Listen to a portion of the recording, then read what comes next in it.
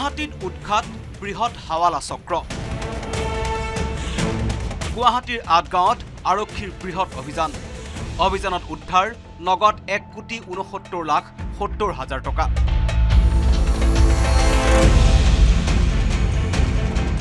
মহানগৰীত উদ্ধাৰ হৈছে দুখনকৈ টকাৰ মোনা। টকাৰ মোনা উদ্ধাৰ কৰিছে ভৰলুমুখ আৰক্ষীয়ে। ৰাজস্থানৰ দেৱকৰণ সেন আৰু মনোজ কুমাৰ নামৰ এই দুজন লোকৰ পৰা আৰক্ষীয়ে জব্দ কৰিছে এই বৃহৎ পৰিমাণৰ নগদ ধন। বহিৰাজ্যৰ লোকৰ হাতত উদ্ধাৰ হৈছে এই দুখন মোনা আৰু মোনাত উদ্ধাৰ হৈছে এক কোটি ঊনসত্তৰ লাখ সত্তৰ হাজাৰ টকা। এই বৃহৎ পৰিমাণৰ টকাখিনি ক'ৰ পৰা কেনেকৈ গুৱাহাটী মহানগৰীত উদ্ধাৰ হ'ল তাকে লৈ সৃষ্টি হৈছে চাঞ্চল্য। আঠগাঁৱৰ জামিন উদ্দিন নামৰ এজন লোকৰ ঘৰত ভাড়াতীয়াৰ হিচাপে আছিল আৰক্ষীৰ অভিযানত গ্ৰেপ্তাৰ হোৱা এই দুজন লোক। টকাখিনিৰ উৎস এই পৰ্যন্ত আৰক্ষীক দিব পৰা নাই ৰাজস্থানৰ দুই ধৃত অভিযুক্তই।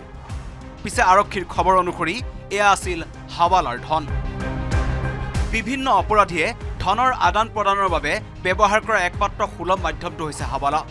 হাৱালাৰ জৰিয়তেই ইখন ঠাইৰ পৰা আনখন ঠাইলৈ হস্তান্তৰ হয় নগদ ধন। বেংককে ধৰি চৰকাৰ আৰক্ষী প্ৰশাসনৰ চকুত ধূলি দি টকাৰ স্থানান্তৰ কৰা অবৈধ মাধ্যম হৈছে হাৱালা। ইতিমধ্যে মহানগৰ আৰক্ষীয়ে জব্দ কৰা এই বৃহৎ ধনৰ তদন্ত আয়কৰ বিভাগক অৰ্পণ কৰিছে যদিও হাৱালা লিংকটো আৰক্ষীয়ে নিজেই তদন্ত কৰি আছে। এতিয়া প্ৰশ্ন হৈছে এই সৰবৰাহকাৰী দুয়োগৰাকীৰ সৈতে আৰু কোন কোন লোক জড়িত থাকিব পাৰে? সেয়া হয়তো আৰক্ষীৰ সঠিক তদন্তত পোহৰলৈ আহিব। বলেন ভট্টাচাৰ্যৰ report news eighteen Assam north east.